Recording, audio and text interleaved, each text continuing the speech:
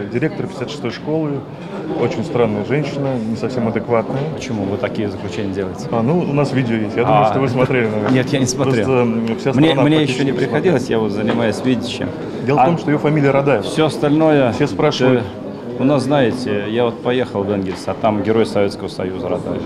Я очень чтю, что у меня есть такие вот э, однофамильцы, как герой Советского Союза. Да? А все остальное дело техники. Должны заниматься этим ответственные люди, профессионалы.